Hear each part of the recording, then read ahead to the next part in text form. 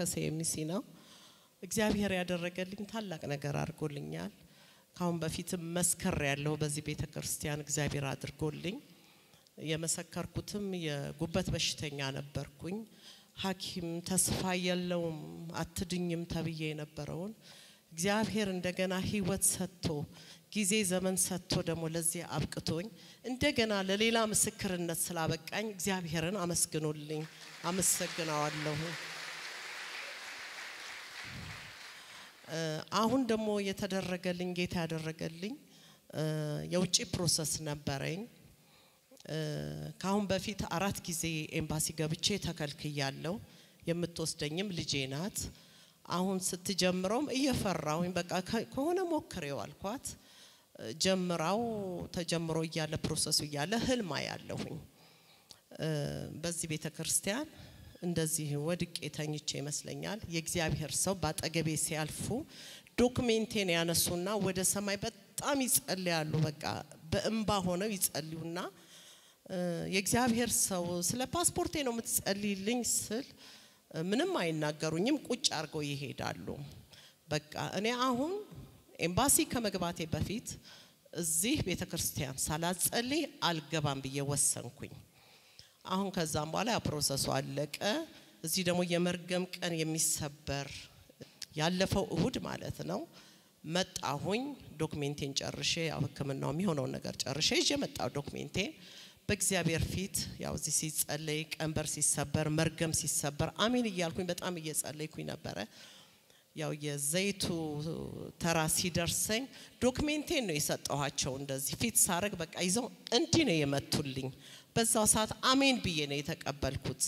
ያንን ተቀብዬ ሄድኩኝ። የምገባው ደግሞ ማክሰኞ ቀን ነበረ ኤምባሲ።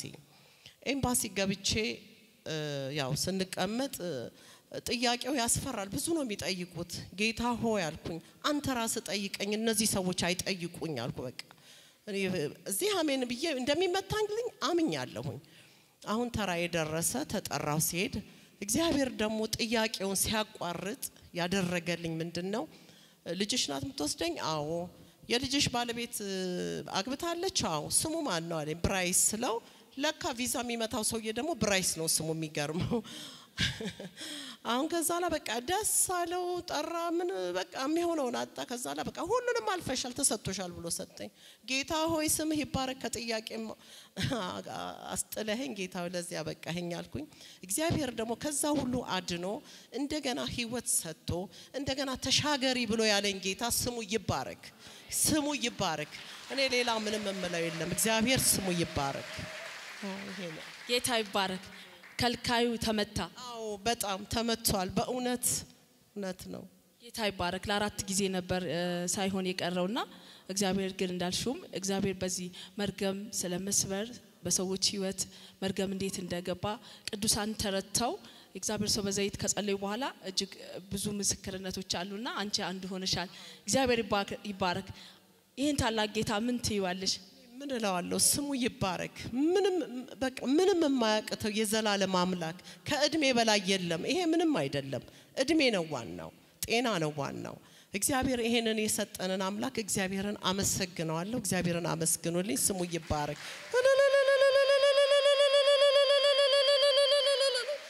አሜን። የኔ ጌታ ስሙ ይባረክ። ጌታ ይባረክ። እስኪ ክብር ለእግዚአብሔር እናምጣ።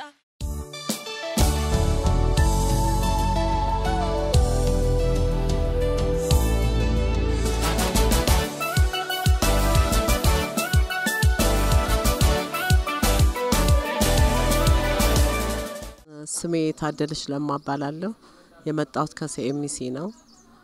እግዚአብሔር ለእኔ ያደረገልኝ ከአሁን ቀደም በዚህ ቤተ ክርስቲያን ከጉበት በሽታ ተፈውሻለሁ፣ መስክሬያለሁም። ዛሬ ደግሞ እንደገና ደግሞ ታላቅ ነገር ጌታ አድርጎልኛል። የመጣሁትም process ነበረኝ፣ የአሜሪካን process አራት ጊዜ ገብቼ ተከልክያለሁኝ። አሁን ይህን process ጀምሬ ህልም አየሁኝ። ያ ህልም ምንድን ነው?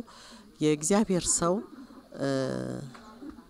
document ኤን ይዘው ወደ ሰማይ ይዘው ሲጸልዩልኝ አየሁኝ እና ያን document ሰጥተውኝ ሲሄዱ አየሁኝ። በቃ ይሄን process ኤን ማን ነው process ኤን ስጨርስ ኤምባሲ ከመግባቴ በፊት የእግዚአብሔር ሰው ጋር ሄዳለሁ ብዬ ወሰንኩኝ። በአጋጣሚ ደግሞ የእርግማን የሚሰበርበት ቀን ነበረ፣ የሚታወጅበት ቀን ነበረ የመጣሁት። በዛን ሰዓት ተጸለየ። የዘይት ቀን ነበረ። ዶክሜንቴን ስሰጣቸው ዶክሜንት ላይ በቃ መቱት። እንደዚህ በቃ ሲመቱት በቃ እሰይ ብዬ ነው የተቀበልኩት። እሁድ ቀን እንደዛ ተደረገ። ማክሰኞን ቀን ገባሁ ኤምባሲ ኤምባሲ ገባሁኝ። በቃ ብዙ ጥያቄ ነበረ ሲጠይቋቸው ስመለከት እና በጣም እየተጨነኩኝ ነበረ። አሁንም እንደገና ይከለክሉኛል ከጥያቄ ብዛት ብዬ ፈርቼ ነበረ። የሚገርመው ግን እግዚአብሔር ትልቅ ነገር ነው ያደረገልኝ።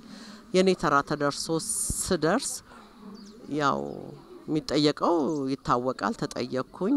የሚገርመው ጥያቄው እንዲያጥር እግዚአብሔር ስለፈለገ ብቻ የልጅሽን የባለቤቷን ስም ንገሪኝ ሲለኝ ብራይስ ነው ስለው የሚገርመው ራሱ ቪዛ የሚሰጠው ደግሞ ብራይስ ነው ስሙ እና በቃ በጣም ደስ አለው፣ ተደነቀ ምናምን። ከዛም በኋላ በቃ ትክክል መልሰሻል ብሎ ቪዛውን ሰጠኝ፣ ምንም ጥያቄ ሳይበዛልኝ እና ይህን ሳልመሰክር አልሄድም ብዬ ነው። እግዚአብሔር ስሙ ይባረክ።